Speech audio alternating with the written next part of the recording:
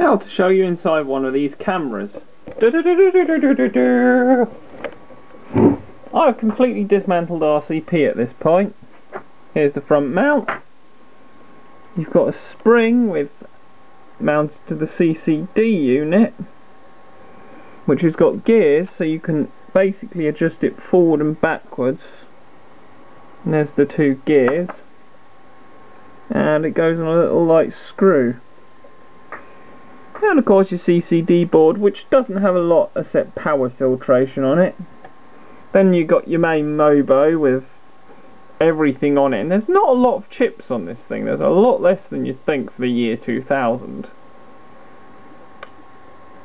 I don't know what everything is because I haven't looked up the bar barcodes. Well, I know what the components are, but I don't know their individual jobs, which ones are microcontrollers and whatnot.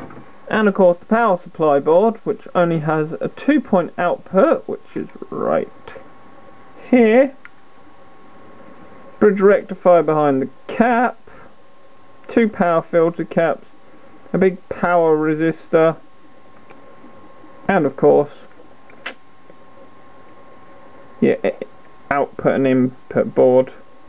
That's more your output. I don't know what the gen lock is. If anyone knows, please do tell. Because I don't. But yeah, it'd be interesting to measure the voltage that this thing outputs. And that, because one thing I've thought of for these is to rig up one as a type of night vision camera.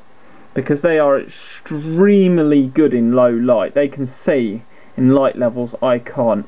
Stick some infrared LEDs on there or something, you've got a pretty good rudimentary night vision camera.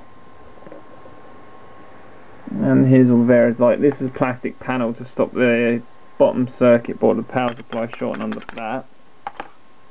And it's all just little things like that. It's actually quite a well designed camera. But for now, I will depart. Thanks for watching. I got the camera, I got the camera, look at it, look at it, look at it. They even have heaters in. I'm very happy.